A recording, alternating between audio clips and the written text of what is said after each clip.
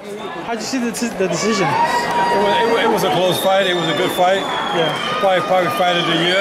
And, uh, I, I can see a, a, fight like that happening again. Another rematch would be great.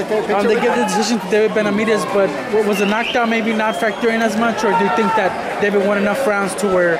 Well, apparently under George's uh, eyes, uh, he won enough rounds to win the fight it was a very close, it was a good, good competitive fight on both sides. And Joe, I got to ask you about the experience of being in there in training camp with McGregor for one of the biggest fights in the history of boxing. How was that experience overall? How would you? It was a great experience working with McGregor. I mean, we had a good time, and uh, he showed that he that he has something with the fight with, with Mayweather. So I, I, think he, I think he did a, a good job.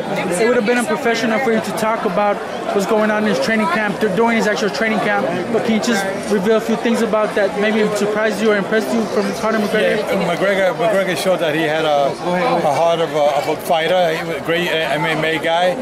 He, he lacked a little bit of boxing skills in, in the fight, but he lasted 10 rounds. To be ashamed of. Can you talk to us a little bit about what sparring between him, between him and Naji? And it, it, was just a lot of fun. Yeah. It was a lot of fun. What, what, do you make of the moment when the videos he released, those moments, do you recall them? Was that? The moments of the videos he released, the clips, do you recall those moments? oh, yeah, yeah, yeah. They were great moments. It was a good sparring session.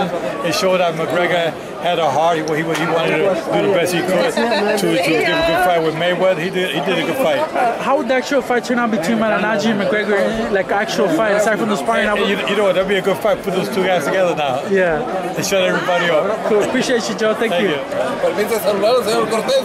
No, un abrazo, un abrazo, un abrazo, jodido. Bien. Yo sé que usted es un tremendo referee. ¿Yo qué, güey? Pro Sinaloa. Pro Sinaloa.